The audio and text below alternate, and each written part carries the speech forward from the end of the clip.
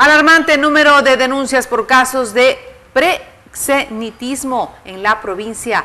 Según las investigaciones, la red social Facebook sería uno de los mecanismos que los proxenetas utilizan para persuadir a sus víctimas. Durante el pasado fin de semana, la DINAPEN aprendió a un sujeto que prostituía a una menor de edad en un centro de tolerancia de la ciudad.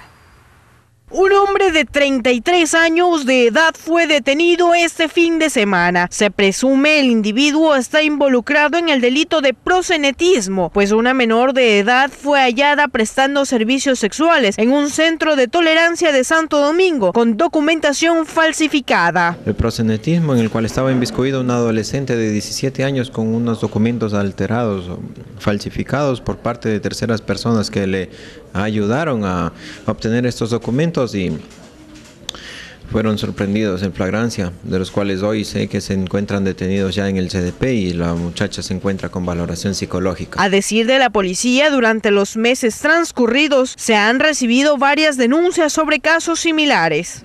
Lógicamente, de acuerdo a los datos estadísticos que se mantiene aquí de lo que inicia el año 2013, tenemos aproximadamente entre 7 a 8 casos o ejemplos de este tema de prosenetismo, en el cual fraudulentamente se llega a convencer a las jóvenes estudiantes o adolescentes en general de trabajar laboralmente en los nightclubs de diferentes sectores aquí de la provincia. Varias son las artimañas de las que se valen estos personajes para lograr convencer a las jóvenes de ejercer la prostitución. Una de ellas es el conocido Facebook. El jefe provincial de la DINAPEN advierte a los padres que el uso de esta red social no es recomendable en los adolescentes. No es recomendable para nada, no hay un aspecto ni un lado positivo. Él simplemente va a contar sus privacidades, a ponerlas a la luz pública para ser presa fácil de cualquier persona. En las calles, varias madres de familia dicen estar conscientes de los riesgos que representa el popular sitio web. Que la verdad que el Facebook no es una cosa buena, hay cosas buenas y cosas que son malas también en el Facebook.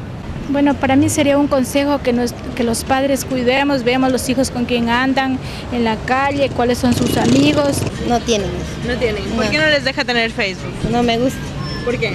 Porque hay mucha mucho internet, cosas. ¿No le gusta en sí?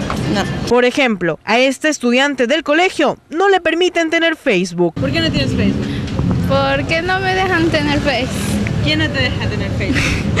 Mis padres le dicen que eso es una gestión de riesgo y todo eso. ¿Ya?